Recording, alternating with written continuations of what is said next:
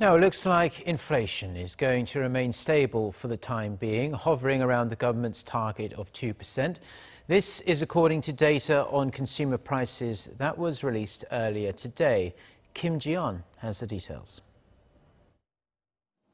Consumer prices rose in May, touching the government's target level of 2%, an important indicator that the local economy is on the recovery track. Statistics Korea says the consumer prices index ticked up, gaining 2% last month from a year earlier.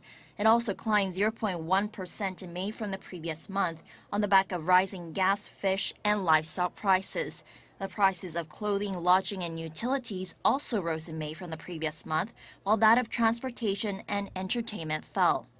Statistics Korea says the government's decision to increase the price of gas by nearly 2% in May canceled out its efforts to reduce electric bills.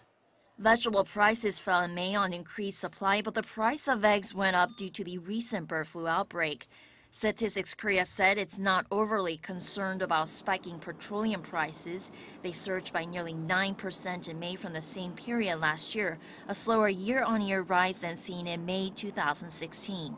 Korea's benchmark Dubai crude sold at an average price of some 51 US dollars a barrel in May, down one and a half dollars from the previous month.